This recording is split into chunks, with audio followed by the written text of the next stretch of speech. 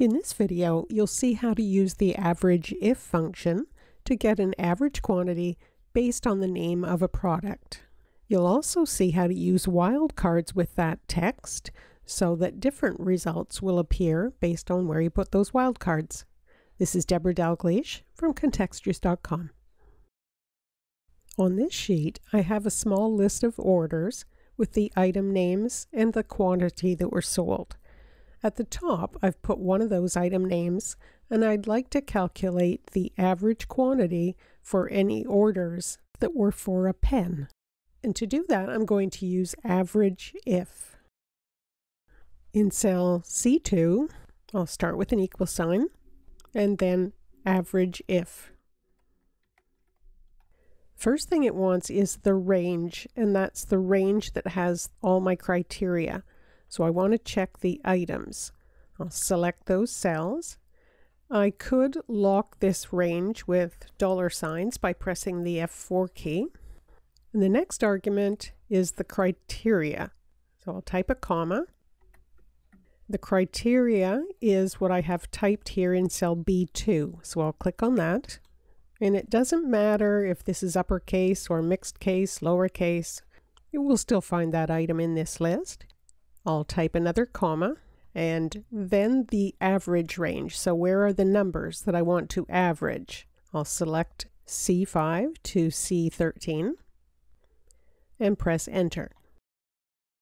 And there's the average for all the pen sales. I have them highlighted here and we could just use the average function and we'd get the same result by selecting those three cells. But with average if, it finds the right items for us and creates the average. Now if I change this to binder, we'll see a different average. And the average quantity for those two sales is 10.5. With the average if function, you can use wildcards with your criteria to make them more flexible. Right now we have pen as the criteria and we'll only get an exact match for that. But I have a drop down list here and I'm going to choose a wildcard, which is an asterisk, which represents any number of characters, and then pen. So now we can see in our list, we're going to get an average of anything that ends with pen. So the average for those items is a quantity of 10. And let's look at the next one, which is the wild card at the end. So now we see things that start with pen and then have anything or nothing after the word pen. So we've got a different average quantity now.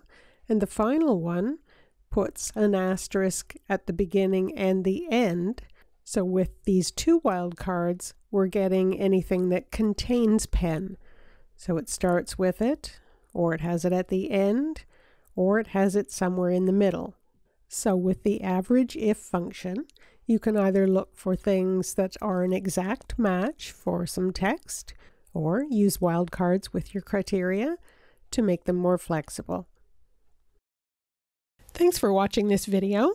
You can go to my website, contextures.com, to get this workbook, and please subscribe to my Contextures YouTube channel so you can see the latest videos as I post them.